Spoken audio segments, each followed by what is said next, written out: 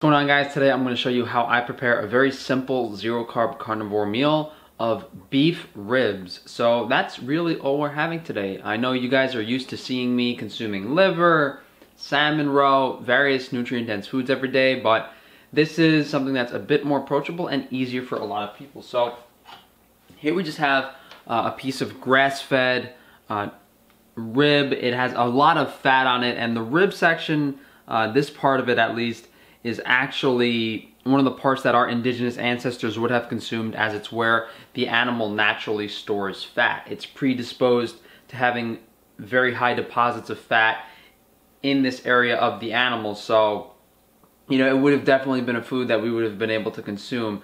Unlike ground beef, unlike ribeye steaks, it definitely falls in line with eating nose to tail in a way. And all I'm gonna do here is I'm just gonna separate the ribs so it's easier to put them on the grill.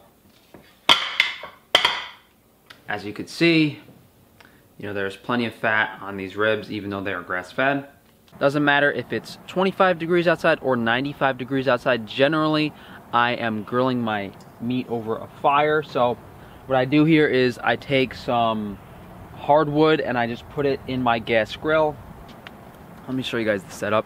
On the bottom on top of the burners are some old grates. So I laid those grates on top of the burners and then I can lay wood on top and then when I light the gas, the wood uh, becomes ignited very quickly. So it only takes me about three or four minutes to heat the grill up to this extent.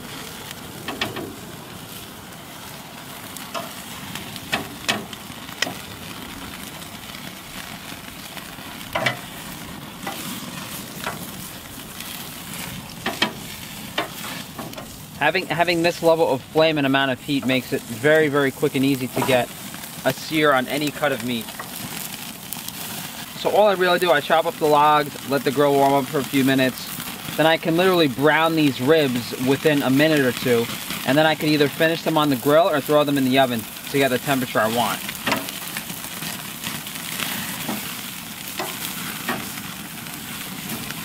But you know, I'm sure you guys are used to, you know, spending 10, 15, 20 minutes warming up your grill, getting the charcoal started.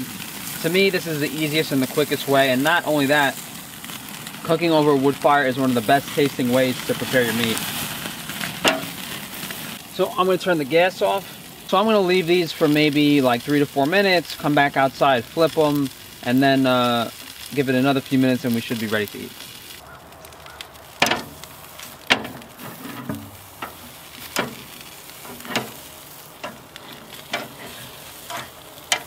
Normally I do eat my meat on the very rare side towards blue, but since this meat just came out of the fridge, I don't really feel like eating cold meat, so I gotta leave it for a few extra minutes on the grill. Take these off the fire, nice and charred.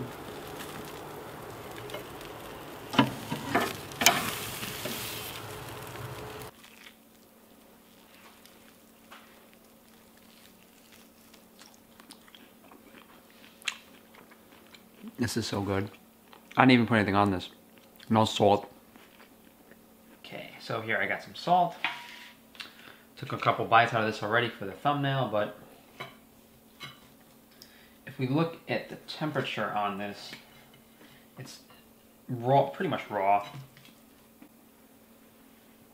And you know, e even these tougher cuts of meat, I find that if you keep them at a very lightly cooked temperature, they're still very tender and easy to eat.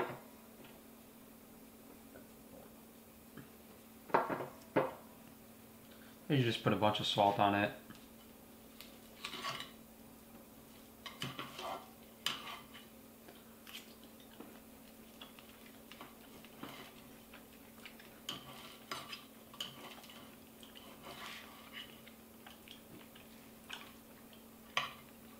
So the nice thing about these cuts like brisket and short ribs is not only that they're affordable they have excellent fat to protein ratios where if I buy something like this or brisket, I know that I'm not going to be searching for an extra source of fat where if I bought steaks or ground beef sometimes, I'm usually trying to find a high quality source of fat in addition to the lean protein.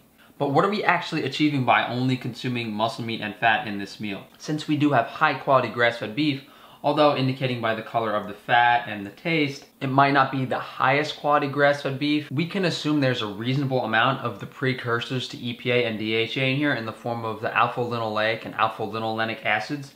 So by sourcing grass-fed beef, we are increasing that amount, you know, by about four to five times, at least that's safe to say. Definitely more vitamin A, more vitamin E, a higher vitamin K2 content in the fat, and overall, you know, less omega-6 fats as well.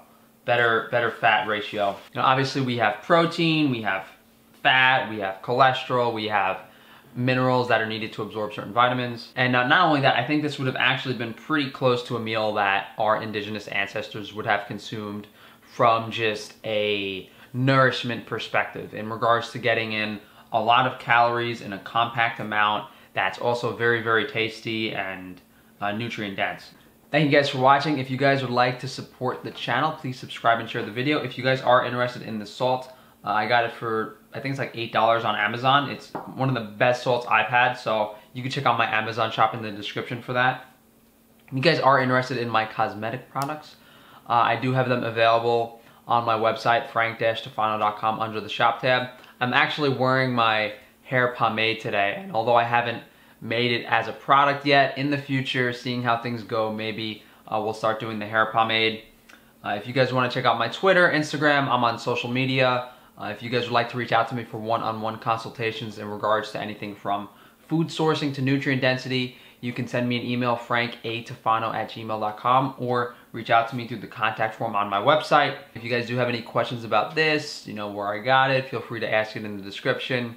Uh, there are a few little uh, secrets here and there and other things I do throughout my day that you might have observed in other videos, although I did not show them to you in this video, but feel free to check out my other days of eating, my day in the life, and that will kind of answer any questions you might have about every single thing I do throughout the day.